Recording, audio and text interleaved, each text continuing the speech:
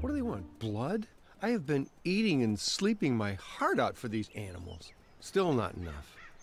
Like I'm not as good as a royal cat could be? Huh?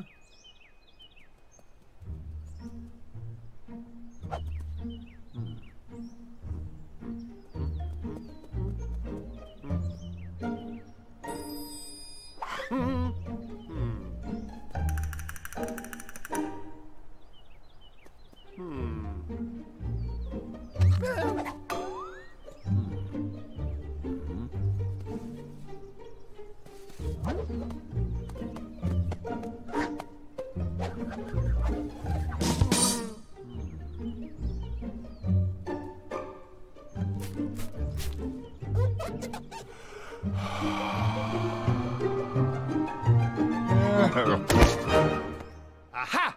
I so knew you weren't me. And you must be Garfield. How do you know my name? I've lived your life for the past few days. Yes, if ever a man loved a cat, it's your Jon. Return to him, Garfield. Return to your home. Your Highness, you don't have to tell me twice. Bye-bye.